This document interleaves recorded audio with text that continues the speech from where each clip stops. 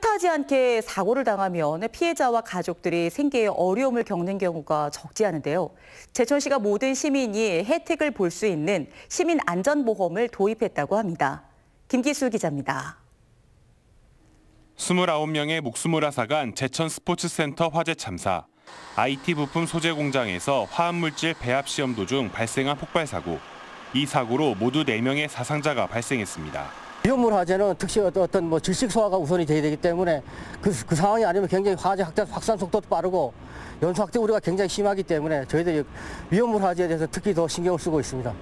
제천시가 불가측한 사고에 대비해 시민안전보험을 도입했습니다. 시민안전보험은 폭발이나 화재 또는 대중교통 이용 사고로 피해를 입을 경우 최대 2,500만 원의 보험금을 지급하는 겁니다. 제천 시민이면 사고 발생 지역을 가리지 않고 보상을 받을 수 있습니다. 피해자와 가족들이 직면할 경제적 어려움을 조금이라도 덜기 위해서입니다. 농기계 사고가 발생을 했었음에도 불구하고 혜택을 받지 못하는 분이 계셔서 저희들이 금년에 농기계 사망 사고와 또 농기계 어, 사고로 인한 장애 후유증 특히 시민안전보험은 개인 보험과 별개로 중복 보상이 가능합니다. 제천시는 앞으로 보장 범위와 보상 금액을 늘려나갈 방침입니다. CJB 뉴스 김기수입니다.